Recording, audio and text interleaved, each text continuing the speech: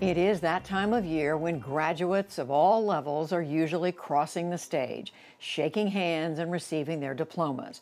But the look and feel of these events this year is, of course, quite different, almost all of them virtual.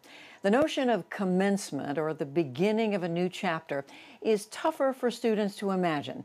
As part of our ongoing Arts and Culture series, Canvas, we hear now from a variety of leaders in their fields, including my message to my alma mater on how to embrace that uncertainty. It's vital that you learn and we all learn to be at peace with the discomfort of stepping into the unknown. The noise of the world drowns out the sound of you. You have to get still to listen. So, can you use this disorder that COVID 19 has wrought? Can you treat it as an uninvited guest that's come into our midst to reorder our way of being? Can you, the class of 2020, show us not how to put the pieces back together again, but how to create a new and more evolved normal, a world more just, kind, beautiful, tender, luminous, creative, whole? We need you to do this because the pandemic has illuminated the vast systemic inequities that have defined life for too many for too long. It can be difficult to see the whole picture when you're still inside the frame, but I hope you wear these uncommon circumstances as a badge of honor. Those who meet times of historical challenge with their eyes and hearts open, forever restless and forever striving, are also those who leave the greatest impact on the lives of others. There's no bigger white flag that's being waved in your face right now than what's going on and the adversity that you face moving into your new situation.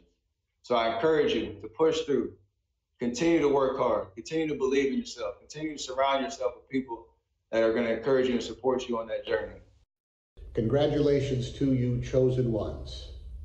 And I am calling you the chosen ones because you have been chosen in many ways.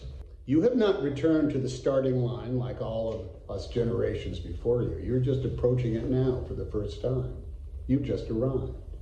You are chosen in that way to enter into the competition of life just when so many have had to recover and refresh and restart and reawaken and to retake up the hard work and the unshirkable responsibilities of making the world not only our own, but of your own.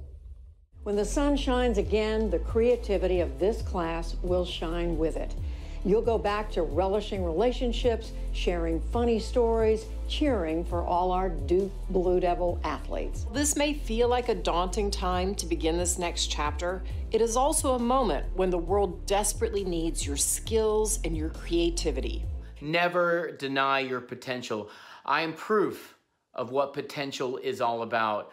When I entered Duke University, I had no idea I would go into comedy and acting. I, I, I really didn't know what I wanted to do with my life. I, I didn't know what my passion was. It was because of Duke drama I discovered my love of acting, performance, comedy. In my life, I've been through some incredible highs and some tremendous lows. And the one thing that's true about both of them is that they pass. So cherish the good times and in the bad times, remember they won't last forever. It does get better. The quote from one who, throughout his all too short life, knew struggle and pain, the Reverend Dr. Martin Luther King Jr., who in 1961 had this to say, and I quote All life is interrelated.